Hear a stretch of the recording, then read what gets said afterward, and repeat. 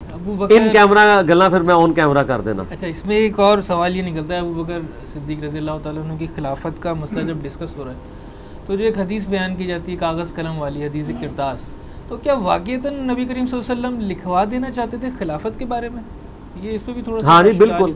मेरा तो ख्याल है कि अगर किरतास के मौके पे कागज़ कलम आ जाता शाने की हड्डी कागज़ ना कही हो कहने कागज़ उस माने जो होंगे ही नहीं जी। तो हज़रत अबू बकर के लिए खिलाफत लिखवा सकते थे। हज़रत अली के लिए नहीं लिखवानी थी।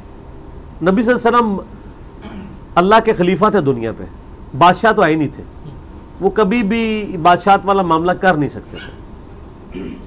वो कभी भी अपना ख़ानदान में से किसी को नहीं नवाज़ सकते। थे बुखारी में हदीस मौजूद है कि अब्बास इब्न अब्दुल मुतलिब कहते हैं कि मैं बनु हाशिम के चेहरे मौत के वक्त पहचानता हूँ। मुझे लगता है नबी इस्लाम अब ज़्यादा अरसा ज़िंदा नहीं रहेंगे। तो आओ हम उनसे खिलाफत के लिए डिमांड कर लेते हैं। तो हज़रत अली ने क्या कहा था? कि अगर रसुल्ला ने इनकार कर दिया तो इनकी उम्मत कभी भी हमें इस अमर खिलाफत में शरीक नहीं करेगी। उनको पता था, वरना हज़रत अली ने चौथा खलीफा भी नहीं होना था। जाके पूछ लेते ना तो उसने कहना था, ना। फिर क्योंकि नबी इस्लाम मलिक नहीं थे ना। बाकी अगर हज़रत अली को पहला खलीफा भी चुन लिया जाता तो वो हर तरह से डिजर्विंग थे कोई मसला नहीं था चुन लिया जाता। ठीक है? नहीं चुना गया तब भी कोई मसला नहीं। इसमें आते अपने पास रोया करते थे कि ये मामला हाँ रोते थे सही बुखारी मुस्लिम के अल्फाज हैं वो कंकरियाँ तार हो जाती थी। हरदीस किरतास वो हड्डी है जो सुन्नी ना निगल सकते हैं ना थूक सकते हैं। बहरल मैंने कोशिश करके थोड़ा सा इसको ग्राइंड करके निकलवाने की कोशिश की है। तीन घंटे का मेरा लेक्चर है दिसे किरतास पे। पचपन बी वो आप देख लें। बस जितना दिफा हो सकता था मैंने किया। दिफा ही किया है दिफा किया लेकिन उसमें जो साहब कराम में से चंद लोगों ने हजूर इस्लाम के लिए गुस्ताखाना लफ्ज़ इस्तेमाल किए थे मैंने उसको कंडेम किए खुद बल्कि दाऊद राज ने अल हदीस आलिम ने लिखा है कि रसुल्ला के लिए ये अल्फाज यूज़ करना मुनासिब नहीं था। अगरचे हज़रत उमर ने वो नहीं किए थे, लेकिन बाकियों ने तो किए थे कि आप पे हजानी कैफियत है। और इस तरह के अल्फाज तो इंतहाई गुस्ताखाना थे।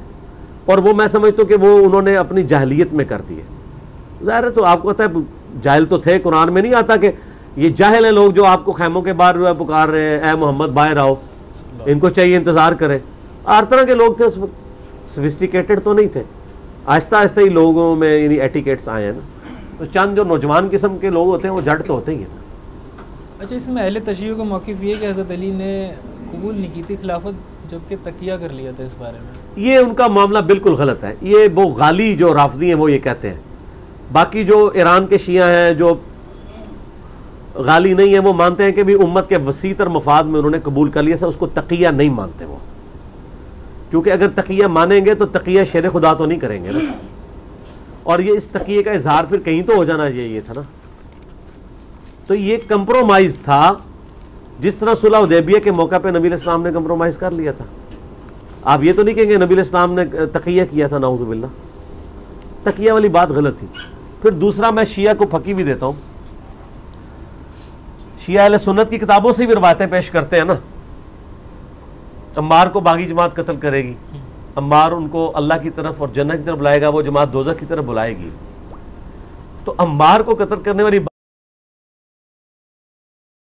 बागी जमात हज़रत बकर के दौर में तो नहीं आनी थी ना? जिस दौर में आनी थी उसी दौर में हज़रत अली ने खलीफा बनना।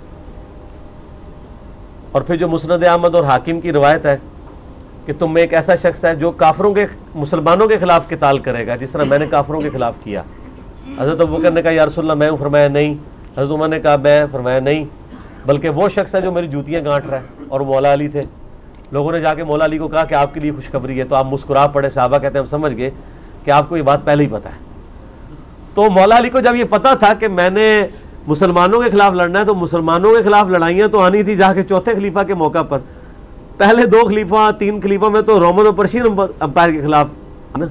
तो जब उनका मौका आना था, उसी वक्त उन्होंने खलीफा बनना था लॉजिकली अच्छा